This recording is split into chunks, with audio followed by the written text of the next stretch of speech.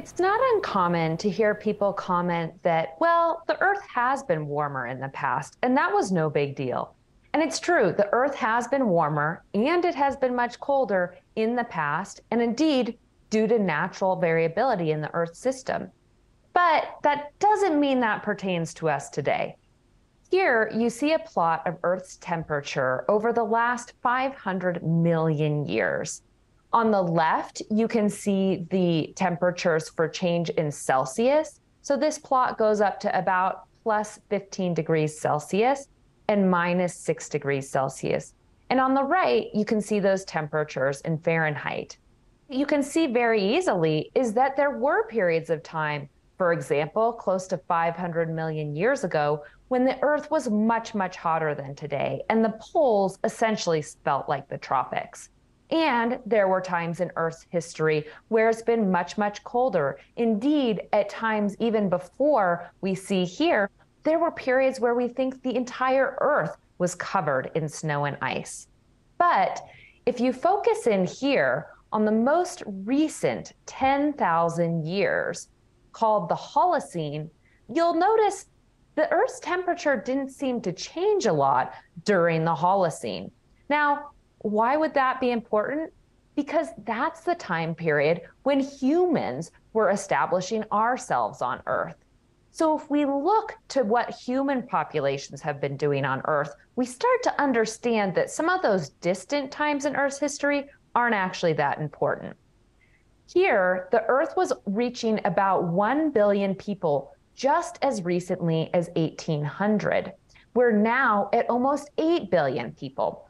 So it's just over the last one to 200 years that modern civilization has really been built. We've created nation states, we've created roads, homes, infrastructure, developed agriculture in places where we wish to be able to continue to farm or ranch the same species into the future. So it's this recent time period that's actually important to us. And if we hone in on the last 1,000 years of change, we can see the last 100 to 200 years has seen a lot of rapid change. In blue, we see how much carbon dioxide there is in our atmosphere. And we can see that we've gone from 280 parts per million of carbon dioxide in our atmosphere before the Industrial Revolution to 420 parts per million in our atmosphere today. So, this air all around us is already radically transformed. And in red, we can see that this change in carbon dioxide is in a close knit relationship with our change in our global temperature, which has now reached about 1.2 degrees warming as a global average. Now, scientists have a very good idea of what causes natural changes in our Earth system and what human caused changes occur in our Earth system.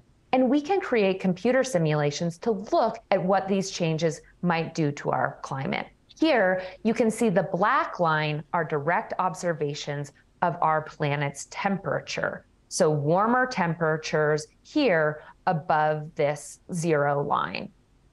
And you can see then in this light green the different sources of natural variability in our system orbital changes, how the Earth is rotating around the sun, if it's wobbling, if the sun itself is perhaps more active and producing warming in our Earth system, or also how many volcanoes there are on the Earth at this time and how active they are. These are all natural things that happen to influence our climate.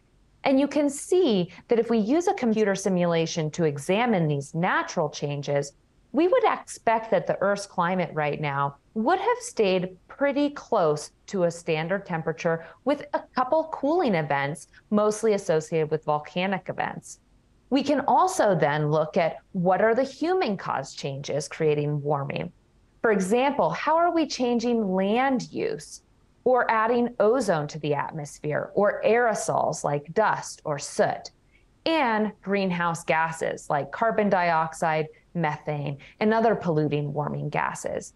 And you can see that that simulation of these human factors generally follows what we've observed, but it's a lot smoother than what we've observed. And in fact, what we experience in the Earth's climate is this combination of natural changes and human changes that are creating this overall trend of warming, but with year to year variability. So, as you're talking with others, yes, the Earth has been warmer in the past, but that wasn't influencing human society, which is what we most care about.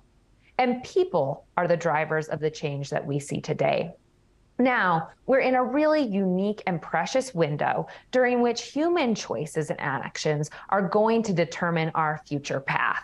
So we can see we're really active players in the climate, and it's up to us to determine where the climate goes from here.